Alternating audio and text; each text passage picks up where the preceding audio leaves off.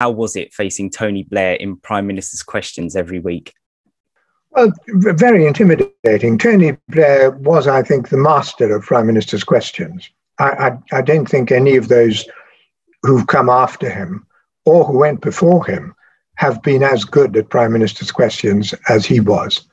Um, he was brilliant. So it was quite difficult facing him across the dispatch box.